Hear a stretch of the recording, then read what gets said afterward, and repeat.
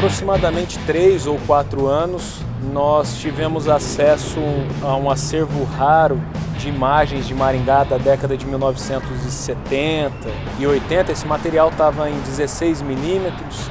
Nós digitalizamos aproximadamente uns 320 rolos de imagens antigas. Uma quantidade bastante significativa era vinculada ao futebol.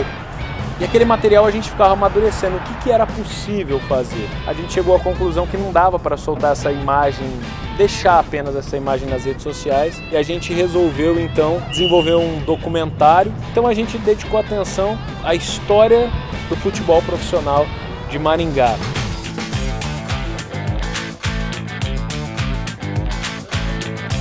Bom, nós entrevistamos mais de 30 pessoas e eu tinha uma preocupação porque na década de 1970, especialmente na década de 1960, é difícil encontrar a presença de mulheres, principalmente num estádio como o estádio Willie Davis. E a gente queria dar voz para essas mulheres, porque a gente sabe que elas estavam aqui, que elas eram torcedoras. E uma grande surpresa foi uma torcedora que esteve conosco, que trouxe materiais valiosíssimos e foi meio de afogadilho assim. Nosso produtor, o Wellington Oliveira, ligou para ela e tal.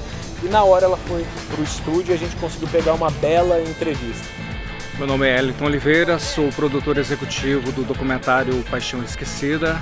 Estou no projeto desde o início da pré-produção, é, entrando em contato com todos os entrevistados, entre jogadores, dirigentes, torcedores. Um trabalho aí de algumas semanas antes da gente começar a filmar e aí acompanhando todo o período de filmagem, todo o processo, entrando em contato com as locações, por exemplo, aqui no estádio que a gente teve que ter autorização por três diárias para a gente poder estar tá filmando e tudo mais. Né? Então é um trabalho bem bacana, bem emocionante e todo mundo vai gostar.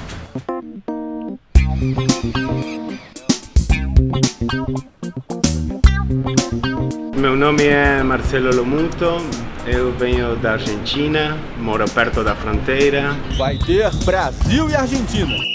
Venho fazer a fotografia do filme Paixão Esquecida, convidado por Thaís e amigos de, de rolê do audiovisual.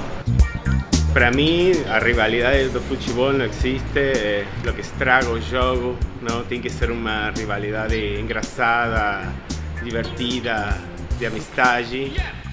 Estou muito agradecido e contente por estar aqui participando, que me hayam convidado para formar parte deste belo projeto.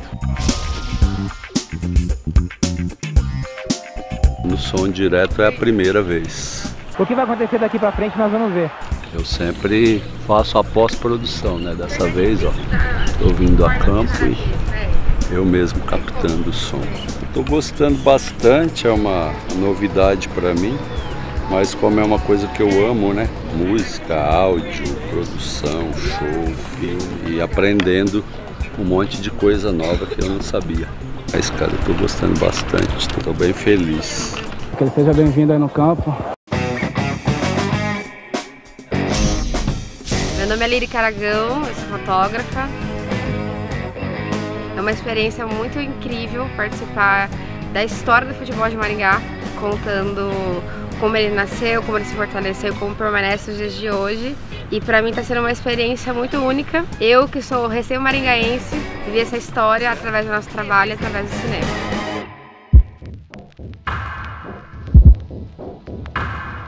Uma das entrevistas mais emblemáticas ali foi com o Nivaldo, porque o Nivaldo protagonizou a única morte que nós tivemos no estádio regional Willie Davis em setembro de 1978, Grêmio de Esportes contra o Colorado.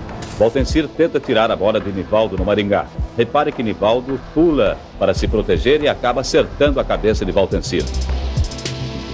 Nesse momento do salto ele acabou, obviamente, sem querer, batendo o joelho contra a cabeça e naquele ricocheteio assim ele quebrou o pescoço e o Valtencir morreu em campo. Hoje de tarde, Valtencir foi enterrado em Niterói. Então todo mundo tinha é, receio de tocar no assunto. a gente com muito cuidado, cautela e também vendo que o Nivaldo estava confortável naquele cenário que a gente construiu, eu resolvi tocar no assunto e ele contou de uma maneira muito transparente, muito tranquila. Obviamente ele não teve culpa, mas ele contou a versão dos fatos que foi muito interessante para nós poder resgatar esse outro lado.